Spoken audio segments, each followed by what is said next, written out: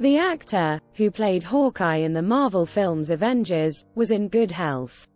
According to a statement from his representative, the actor Jeremy Renner is in a critical but stable condition after being admitted to the hospital with severe wounds sustained in a Nevada snowplow accident.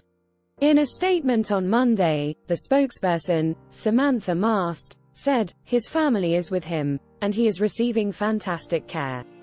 Mr. Renner sustained a traumatic injury, according to the sheriff's office in Washoe County, Nevada, on Sunday morning. According to the sheriff's office, he was the lone person in the accident and was flown to a neighboring hospital.